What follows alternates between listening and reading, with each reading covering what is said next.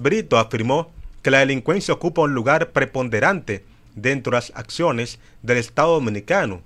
Especificó que en los últimos 10 años se han hecho ingentes esfuerzos desde el Ministerio Público para enfrentar este mal. Asimismo indicó que el sistema de emergencias 911 puesto en funcionamiento por el presidente Danilo Medina viene a salvar cientos de vidas en el país y que pronto será instalado en San Cristóbal. Uno de los pasos más trascendentes que ha llevado a cabo la República Dominicana en estas medidas preventivas con carácter inmediato está el 911.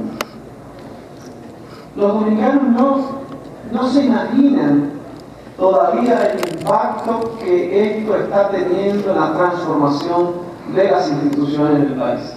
Un proyecto piloto que recientemente inauguró el presidente Medina y que solamente incluye el Gran Santo Domingo, pero que próximamente otras ciudades y sobre todo con prioridades a San Cristóbal y a Santiago será implementado.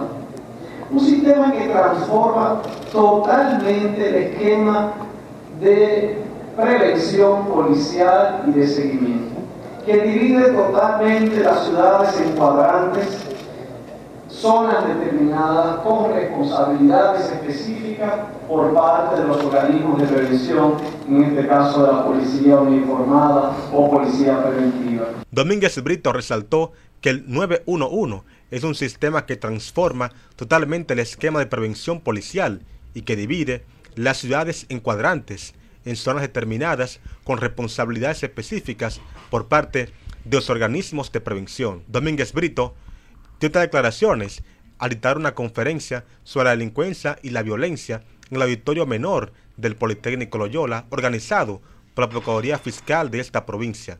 El jefe del Ministerio Público dijo que el sistema 911 organiza editorialmente todo lo que es el sistema de atención inmediata a los fines que los organismos de seguridad ciudadana puedan accionar y tener a disposición inmediata para evitar un hecho habitual. Alexander Vallejo, Centro Sur de Noticias.